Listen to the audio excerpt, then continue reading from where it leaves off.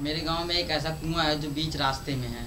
तो उस रास्ते से जो कोई जाता है, करीबन दस लोग गिर चुके हैं। मैं एक बार साइकिल से जा रहा था और वहाँ पे पत्थर रखा हुआ था। उस पत्थर में मेरा पैर, साइकिल का पैडल बजा गया, जिसके ना, जिसके कारण मैं साइकिल से गिर गया। पहले मैं गिरा, उसके बाद मेरा साइकिल गिरा।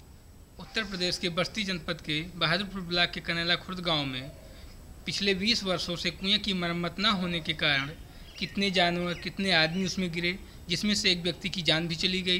तौने पे या प्रधान के हाल हुए जो अब कहे जाए तो कहीं आ रहा तार लोग घबरात है, तार लोग फालतू के चिल्लात है पिकमा जल्दी हो जाए। जल्दी क्या का ऐसे ऐसे पाँच साल बीत जाए तो होबे नहीं करे। ओकरे बाद छः महीना में कल तो खुली बैठक का मीटिंग होता उहू बात कही गया। मने प्रधान रहन सेक्रेटरी रहन, नेकपाल रहन, सब रहन, सबके सामने कही गया। कहीं हाँ हाँ ठीक बा बजट आ ज़्यादा बनाए।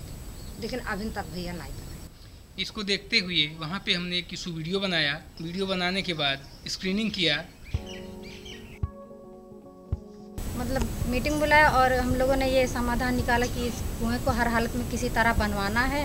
स्क्रीनिंग करने के साथ समुदाय के साथ ग्राम प्रधान के पास गए। स्क्रीनिंग किए आवेदन दिया गया और समुदाय के सहयोग से आज मैं वहाँ पर बदलाव ला पाया।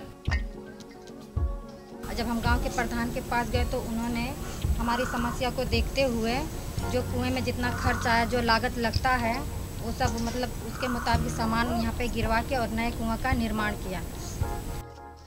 वीडियो बनाया गया और एप्लीकेशन दो चार पड़े। उसके बाद में कुआँ पास हुआ उसके बाद सामान वामान गिरा तो कुआँ बनाया गया। हमें बहुत खुशी है कि हाँ हम जो जो चाहते थे वो है आज हमारा गाँव इस कुएँ से मतलब सुरक्षित है।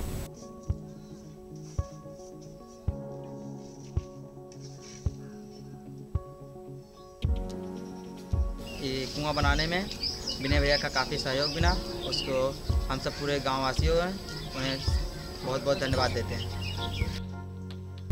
मैं चाहता हूँ इसी तरीके से मैं इसी वीडियो बनाता रहूँ और लोगों की समस्या का समाधान होता रहे। मैं विनय कुमार, जिला बस्ती, उत्तर प्रदेश इंडियन हर्ड के लिए।